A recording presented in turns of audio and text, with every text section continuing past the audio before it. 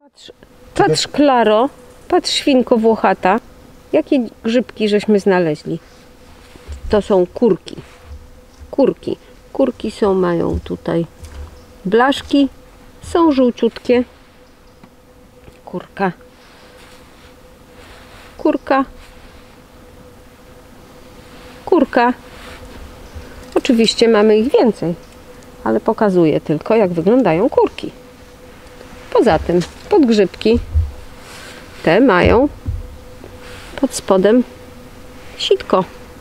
Jak się je dotknie palcem, to robią się sine. To jest charakterystyczne dla podgrzybka. Młodziutkie to później się robi sine, ale już widać zasinienie od palców. Ciekawy musiał być przytulony do drzewa gdzieś, ale też młodziutki. Dotknę. Powinien się zasinić. Podgrzybek. No jest odporny. Nawet nie za bardzo sinieje. No troszkę sinieje. Po pewnym czasie sinieje. No i tutaj jest taki trochę bardziej już stary i ten to łatwiej zasinieje. O proszę bardzo, od razu widać jak sinieje. Siny się robi. Bardzo, nadają się do suszenia bardzo dobrze.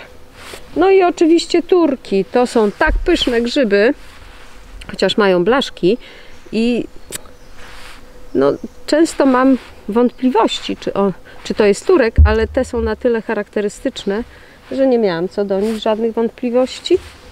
Proszę, takie różne turki. Już one są na tyle wyrośnięte, że nie mają tej kryzy.